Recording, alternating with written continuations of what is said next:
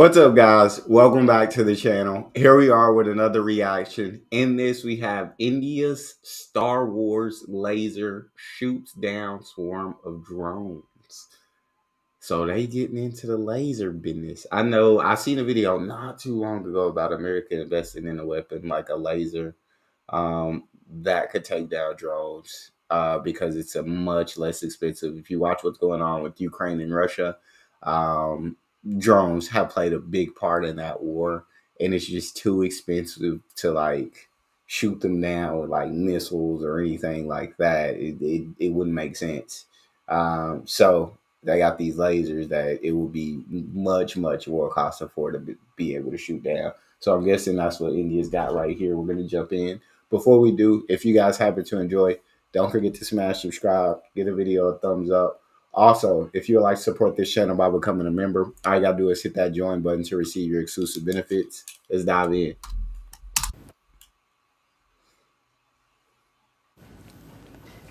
Picture this. A swarm of drones buzzing towards Indian skies, then a flash of light, precise, silent, and deadly.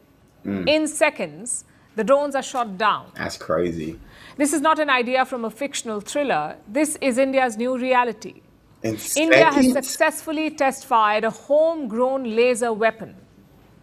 The laser beam burst the targets into flames, and all of this happened with pinpoint accuracy. Dang.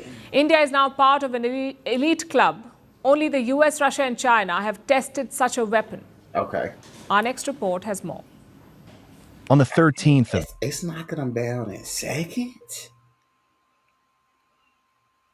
That's dope. That's that's very very fast. Yeah, swarm of drones going to be falling out the sky.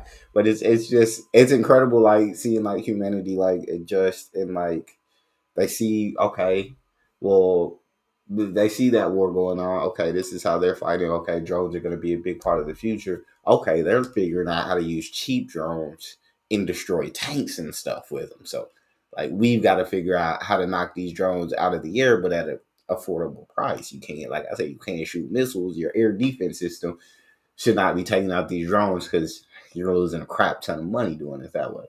So here you come with the lasers. Of April, India entered an elite club of nations for the first time ever. India showcased its futuristic warfare capabilities. It fired a directed energy weapon. In short, a laser weapon. The test was undertaken in the state of Andhra Pradesh. The Defense Research and Development Organization, or DRDO, conducted the test. Oh, Here's how it went down. DRDO officials brought out the laser weapon to the testing field. And then they launched the targets. First, a single drone was shot down. Then a swarm of drones were brought down and all of this happened in the blink of an eye. Are you serious? You blink, you miss, but the laser doesn't. The weapon that was showcased is a 30 kilowatt directed energy weapon. It is developed and designed by the DRDO and is completely made in India. It is basically a laser with multiple cameras and sensors. Mm. The sensors and cameras first detect a target. This could be a single drone or a swarm of drones. Then the weapon fires quick bursts of light energy or lasers to cut through any target, causing them to burst into flames. Dang, how much drones can it knock out? Because it said it threw a swarm of drones and knocked it out like like that fast. So how much drones? How how long does it take to knock out a single drone? And how long? I wonder did it take to knock out that swarm of drones? Uh, I'm just very intrigued. I think this is like such a cool freaking weapon. Like, and shout out to India, bro. Like India India is up there with the superpowers of the world. India is right up there in the club when it comes to a lot of weaponry, when it comes to a lot of things. India's in that room. Um, so there, India's in that room once again. India has now entered an elite group of nations. Mm-hmm. Only the United States, China, and Russia are known to use lasers to neutralize aerial threats. India is now the fourth, and this is just the beginning. The DRDO is planning on making a much larger laser weapon, which will also be put on warships and aircraft. And DRDO officials say it will be India's Star Wars like capability. We are also working on other high energy systems uh, like high energy microwaves, electromagnetic pulse. Ooh. So, so I wonder, like, can you make the laser strong enough to take out like a jet, like a like a F thirty five? Like, can you make the laser strong enough to take that out within seconds? Is my an intriguing question. We're working on several technologies which will give us the Star Wars capability.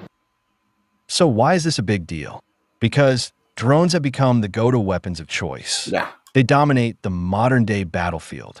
They are cheap, reliable, agile, and deadly. But defending yeah. against drones remains a challenge. Oh. Militaries would often resort to anti-drone systems. These are large weapons that cost at least a few thousand dollars.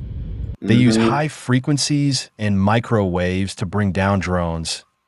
And they have something called as the cool off period, which means that after yes. some time, the anti drone systems need a break. Mm-hmm. That is not the case with laser weapons. Mm. Even though a mm. laser is a concentration of extreme energy, the system itself uses less energy to fire lasers compared to other anti-drone systems. So the lasers themselves don't have the laser doesn't have a cool off period that it needs. It can just continuously like knock drones out of the sky without having to cool off. That's so lasers can be fired at multiple targets and still not be at the risk of overheating. Wow. India now has an effective solution to combating drones. That is bad news for its neighbors, particularly Pakistan. Yeah. In recent months, drone incursions in India's border regions have increased, oh. but deploying multiple jammers and anti-drone systems remains a challenge for Indian armed forces. So the laser weapon system is the answer, and a big boost to India's defense arsenal. Greeting you with aloha and namaste. Yeah, I really think like that is freaking amazing, and I like I said, India is just in that club when it comes to so many different things. Um, they're in the club with the the big military superpowers of the world, um, and it's kind of incredible to watch. Uh, you already got the space program, which is in that club, getting to NASA at the fraction of a price cheaper than it is to make a movie about going to NASA in the United States, which is bonkers. Um, but as they keep developing, they keep growing. Um, shoot, next 10 to 20 years, bro, who knows what's to happen. It's going to be intriguing. Uh, what do you guys think about this laser system? I literally thought it had to have like a little cooldown period but if it if it can just continuously take drones out of the air, no cool down, no worry of overheating, my days, man, this is definitely a weapon of the future. And and if it can do this, you definitely want to make it strong enough to take jets out of the air. I feel like so.